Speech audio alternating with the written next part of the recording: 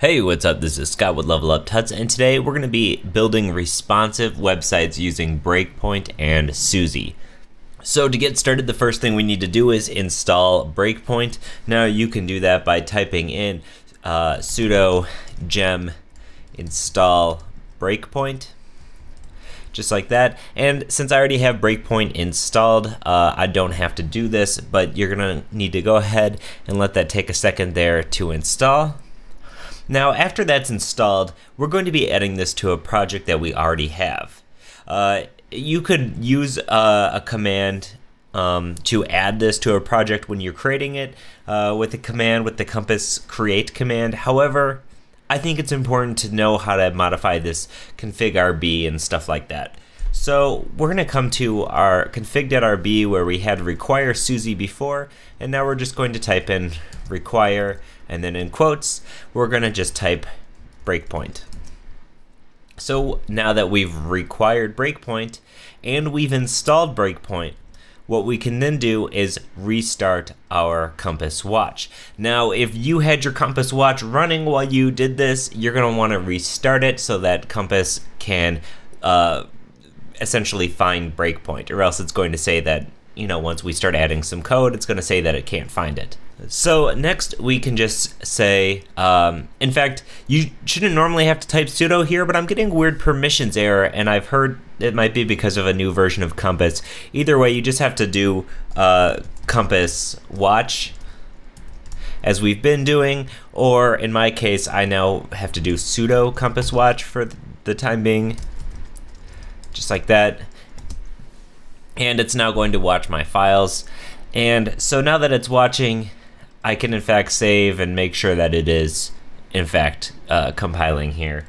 Check back to my iTerm. Okay, it's waiting for changes. Cool. So now to actually get to start using breakpoint, we can just type in add import and then in quotes, breakpoint at the top of our document here before we start using the mixins that breakpoint provides.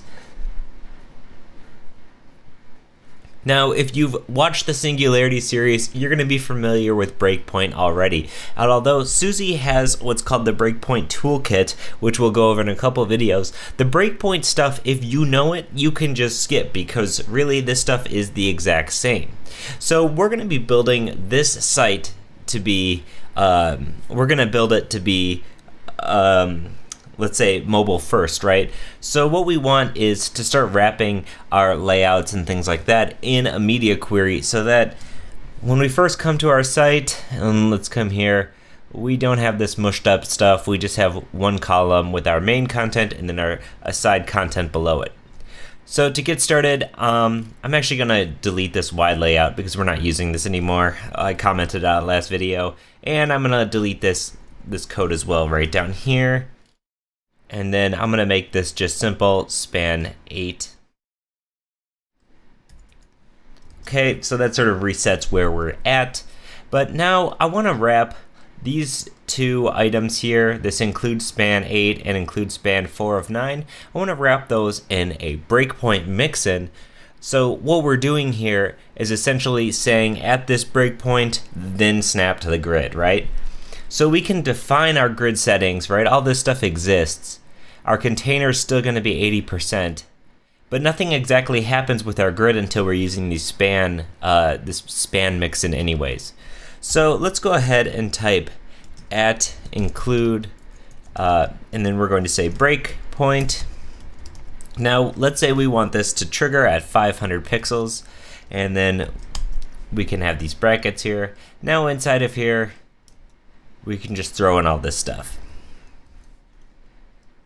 Okay, so what's essentially this breakpoint uh, mixin is doing is it's really just wrapping our things in a media query. What's nice about Breakpoint is it allows for really quick and easy media queries. You don't have to remember a whole ton of stuff. You just have to remember Breakpoint and then you can assign it a number value. Most importantly, there are some extra features, which of course we'll talk about it and we have talked about in the Singularity video, but there's some extra features just to make your life a little bit better here and there.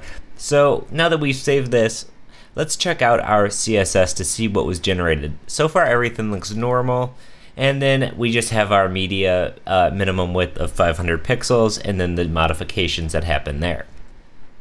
So let's come to our site and refresh. Now you'll see that everything's in one single column and when we widen this out to 500 pixels we now have these two columns. Perfect.